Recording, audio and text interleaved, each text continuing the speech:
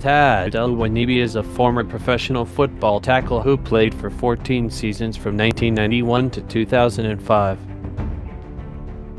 Elewonibi was born on December 16, 1965 in Lagos, Nigeria. In college, Elewonibi played for the BYU Cougars in Provo, Utah. In 1989, he received the Outland Trophy.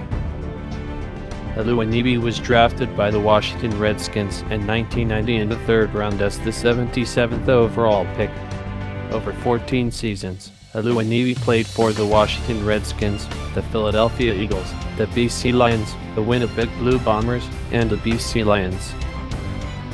His first team was the Washington Redskins from 1991 to 1993.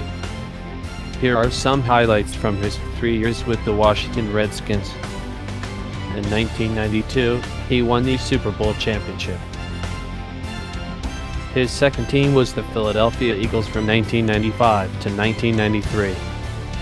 His third team was the BC Lions from 1997 to 2000. Here are some highlights from his four years with the BC Lions. In 1998, he was named CFL All-Star. His fourth team was the Winnipeg Blue Bombers from 2000 to 2005. His fifth and last team was the BC Lions in 2005.